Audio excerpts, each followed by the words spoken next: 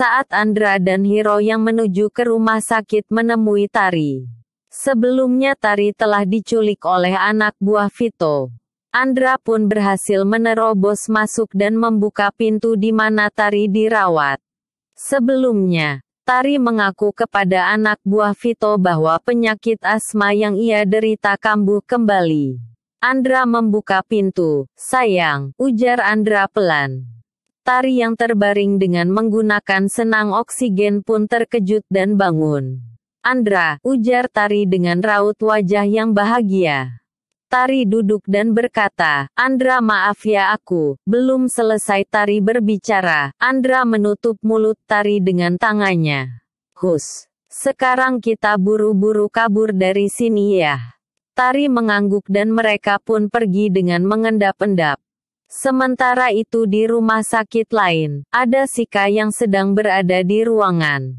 Salah seorang wanita dengan raut wajah sedih berkata, kita cari pinjaman lagi ke Manafi. Tanyanya kepada Sika. Sika pun menjadi sedih dan tak lama kemudian, Rimba muncul sembari berkata, biar aku aja yang bayar, ujar Rimba. Sontak saja Sika terkejut dengan kedatangan Rimba. Kembali pada Tari dan Andra yang telah berhasil kabur. Mereka menemui Hiro yang sedari tadi menunggu mereka. Sementara para anak buah Vito pun akhirnya menyadari bahwa Tari menghilang dan salah satu di antara mereka menelpon Vito. Bos, Tari gak ada. Vito marah dan meminta mereka untuk segera menemukan keberadaan Tari. Mereka pun akhirnya keluar dan melihat ada Tari yang sedang bersama dengan Andra dan Hiro. Woyei, ujar salah satu dari mereka. Hiro menyuruh Andra untuk membawa Tari pergi. Mendingan lo cepet buruan pergi, ujar Hiro kepada Andra dan Tari.